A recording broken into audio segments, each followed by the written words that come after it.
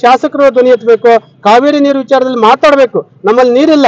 ತಮಿಳ್ನಾಡಿಗೆ ನಾವೇನು ತಮಿಳ್ನಾಡು ವಿರೋಧಿಗಳಲ್ಲ ಅವರು ನಮ್ಮ ಅಣ್ಣ ತಮ್ಮಂದ್ರ. ಅವರು ಬೆಳೆಗಳಿಗೆ ನೀರು ಕೇಳ್ತಾ ಇದಾರೆ ನಾವು ಪ್ರತಿ ವರ್ಷನೂ ಸಹ ಏನ್ ನೀರನ್ನು ಬಿಡ್ತಾ ಇದೀವಿ ಆ ಕಾರಣಕ್ಕೋಸ್ಕರ ಈ ಬಾರಿ ರಾಜ್ಯ ಸರ್ಕಾರ ಯಾವುದೇ ಕಾರಣಕ್ಕೂ ನೀರು ಬಿಡಬಾರ್ದು. ಬಂಗಾರಪ್ಪನವ್ರು ಏನು ತೀರ್ಮಾನ ತಗೊಂಡಿದ್ರು. ಕಾವೇರಿ ನೀರು ಬಿಡ್ಬೇಕಂತೇಳಿ ಅವತ್ತಿನ ಸುಪ್ರೀಂ ಕೋರ್ಟ್ ಆದೇಶ ಕೊಟ್ಟರು ಸಹ.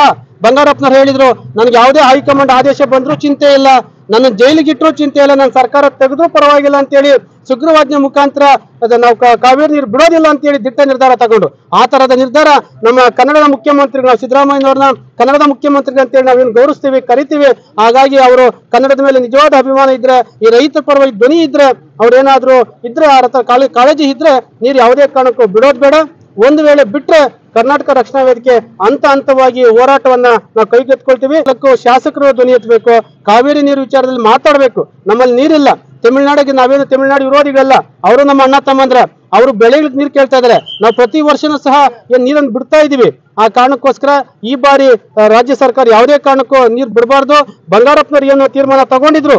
ಕಾವೇರಿ ನೀರು ಬಿಡ್ಬೇಕಂತೇಳಿ ಅವತ್ತಿನ ಸುಪ್ರೀಂ ಕೋರ್ಟ್ ಆದೇಶ ಕೊಟ್ಟರು ಸಹ ಬಂಗಾರಪ್ಪನವ್ರು ಹೇಳಿದ್ರು. ನನಗೆ ಯಾವುದೇ ಹೈಕಮಾಂಡ್ ಆದೇಶ ಬಂದ್ರೂ ಚಿಂತೆ ಇಲ್ಲ. ನನ್ನ ಜೈಲಿಗೆ ಇಟ್ಟರು ಚಿಂತೆ ಇಲ್ಲ ನನ್ನ ಸರ್ಕಾರ ತೆಗೆದ್ರೂ ಪರವಾಗಿಲ್ಲ ಅಂತೇಳಿ ಸುಗ್ರೀವಾಜ್ಞೆ ಮುಖಾಂತರ ನಾವು ಕಾವೇರಿ ನೀರು ಬಿಡೋದಿಲ್ಲ ಅಂತೇಳಿ ದಿಟ್ಟ ನಿರ್ಧಾರ ತಗೊಂಡು. ಆ ತರದ ನಿರ್ಧಾರ ನಮ್ಮ ಕನ್ನಡದ ಮುಖ್ಯಮಂತ್ರಿಗಳು, ನಾವು ಸಿದ್ದರಾಮಯ್ಯನವ್ರನ್ನ ಕನ್ನಡದ ಮುಖ್ಯಮಂತ್ರಿಗಳು ಅಂತೇಳಿ ನಾವೇನು ಗೌರವಿಸ್ತೀವಿ, ಕರಿತೀವಿ. ಹಾಗಾಗಿ ಅವರು ಕನ್ನಡದ ಮೇಲೆ ನಿಜವಾದ ಅಭಿಮಾನ ಇದ್ರೆ, ಈ ರೈತ ಪರವಾಗಿ ಧ್ವನಿ ಇದ್ರೆ ಅವ್ರೇನಾದ್ರೂ ಇದ್ರೆ, ಆ ರಥ ಕಾಳ- ಕಾಳಜಿ ಇದ್ರೆ ನೀರು ಯಾವುದೇ ಕಾರಣಕ್ಕೂ ಬಿಡೋದು ಬೇಡ.